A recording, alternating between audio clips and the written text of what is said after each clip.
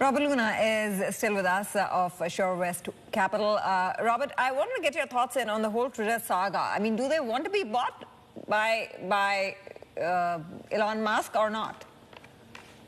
Yeah, I mean, it looks like the deal is going to be going through. I mean, surprise to a lot of people out there. I thought that there was going to be this drug out court battle that was going to go back and forth. I really would have never put a single dollar on the fact that Elon Musk was going to wind up paying up to that original price. He was talking about these things in terms of bots. Obviously, there's been a huge movement in the market, so he could have easily came back and talked about not being able to raise debt, which we still are unaware of. That's probably the big caveat right now. Is he going to be able to raise the money to close on this deal? He's the richest man in the world. More than likely, he'll probably uh, be able to do it. Um, that being said, uh, is this really the best use? Of Elon Musk's time? Is this where he should be spending his focus? Who am I to say? I, I would say not. Uh, as a Tesla shareholder, I'm not extremely excited about it.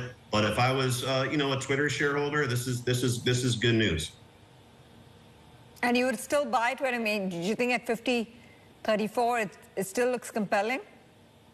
Well, I mean, it's more of a merger arbitrage bet at this point to whether or not the deal goes through. So I, I, I think for most investors, if you're not in the deal, I wouldn't be trying to play that game right here. Rob, I've got to ask you because you mentioned in the, the previous block about Netflix, they've announced that that 6.99 deal. Do you think that yeah. this is going to be enough of a catalyst moving forward in terms of the recurring revenue? Because as someone who subscribes to Netflix, I don't know if I'd want to go down to that 6.99 tier and have to deal with like three to five minutes of ads. Yeah, I, I know I won't be doing it for sure. so, uh, you know, there are there are going to be some people that that it's attractive to. Um, there's going to be some of the younger generation, especially. Look, if we're going into recession here and there are people really on the border of being able to afford a full price subscription, maybe it makes sense for them. At the end of the day, when you look at the valuations, ex advertising, though, it's the cheapest we've ever seen the stock. It's only trading at about 19 and a half, 20 times forward earnings. And Netflix is one of those things I call these small luxuries that if we are going into recession, people are probably going to spend more time watching Netflix than going out. So I think it's in a pretty good position right here. But I do think advertising is being underestimated. I think it's going to be a bigger component two to three years from now and be a lot more successful than most analysts. I know it got down, well, a reiterated downgrade um, today from from an analyst out there who doesn't doesn't really believe in the advertising revenue. Sticking with a similar kind of thematic, but obviously this next company does have a lot of other parts to it. I want to talk about Disney as well because you, you like Disney. That whole DraftKings thing with ESPN, do you think that this could be uh, potentially a lot more than what even the, markets are believing that it could be, considering how big sports gambling is going to be in the United States once it gets legalized across the states and just the integration potential with ESPN and the, the bespoke things that they could create? And I would imagine that ESPN would be trying to get a cut out of whatever DraftKings pulls in as well.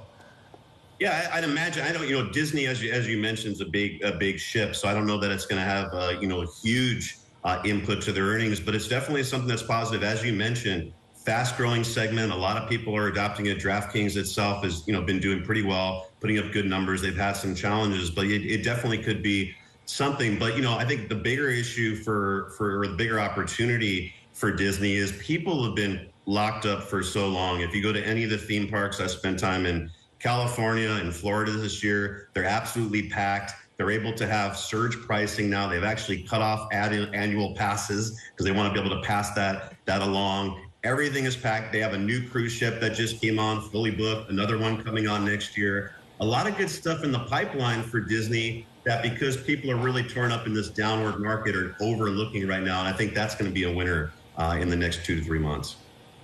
Okay, uh, I, I, also want to talk about your uh, your pick with LUV, which is Southwest Airlines. Uh, how, how are you looking at, you know, your position with the travel stocks and related themes? Yeah, well, if you look at Delta, they just booked their largest revenue number ever. Uh, and if you've flown anywhere, prices are going up, but people are still paying. Planes are packed. And it goes back to, you know, what I was saying. I think when we are all locked up in COVID, you really saw, and you see this with what's going on with CPI right now. You see this, what's going on. There is a slowdown in certain segments, maybe the stuff where people aren't buying as much stuff maybe not buying as many cars, not buying as much clothes, but the experiences are starting to pick up. People want to get out, they want to do things. And I think Love Southwest is a best in breed airline carrier. They've been able to manage cost considerably well. They don't have any international exposure. So I think Southwest, that has a cult following at these valuations, makes a lot of sense. I don't personally own the stock. I've never owned an airline stock, but I'm actually looking at potentially purchasing that one. I was actually wondering about that in terms of that, but I've got to push back a little bit on Southwest. You would think because they're not necessarily like a Delta, like an American, they don't have the transatlantic travel that if there was to be a macro slowdown in the US, a potentially a deeper recession than people are expecting, that they'd take a pretty big hit. Yeah, you know, I, I don't think so. I think, as, as I mentioned, I think people might not be going to Europe or they might, you know, not be going to Asia. But I think, you know, flying from California to Arizona, you see that happening all the time. These short haul flights are probably what people will be doing, tightening in their budget a little bit. Uh, more than likely, I think, and we've seen that before in past recessions, that, you know, Southwest has done a pretty good job at managing that. We're going to have to leave it there. Robert, Pleasure as always, and thank you for joining us on Inflation Day as well. That was Robert Luna from SureVest Wealth Management.